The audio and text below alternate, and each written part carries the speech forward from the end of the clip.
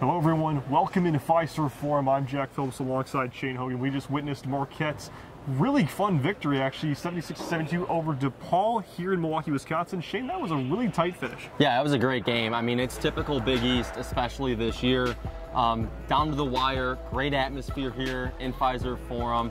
That was a huge win for Marquette. Honestly, one of their better wins of the season. I know they had that big one against Nova, but this felt like a momentum booster for the Golden Eagles, and we'll see if that takes them into next Sunday. And definitely, I mean, Marquette, they've won five out of their last six. They're yep. now six and four in Big East play.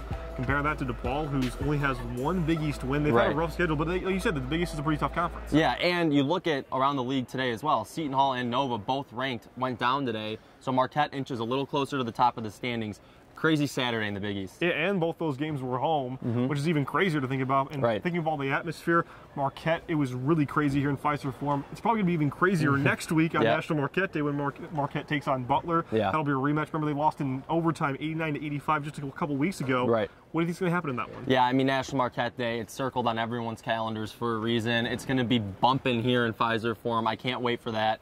The atmosphere was great today. Take it to the next level. Butler here at here at home for Marquette. They're a really good opponent. They're ranked for a reason. But, you know, Marquette's got the advantage right now, I think. I think they have an advantage, but again, you can't really underestimate Butler. No, Granted, definitely they, not. They, they have lost a few games in mm-hmm. Big East play, so anything can happen. Right. And it's going to be on a Sunday at 11 in the morning. Yeah, so I mean, you know, wake up early, get after it a little bit, have some fun, and hopefully get a win. Well, we'll see what happens. Thanks again for joining me, yep. Shane. Don't forget to see the recaps on Twitter by following at John Leuzzi MU and of course at Zoe underscore Comerford. And as always, follow at MU Sports on Twitter for plenty of MUBB coverage as well as any Marquette sport. Regardless, Shane Hogan, Jack Phillips, thanks for listening, and we'll see you later. Thanks for watching this video. For more MUTV sports content posted every day, click the subscribe button right here on your screen or follow us on Twitter at MU Wire Sports.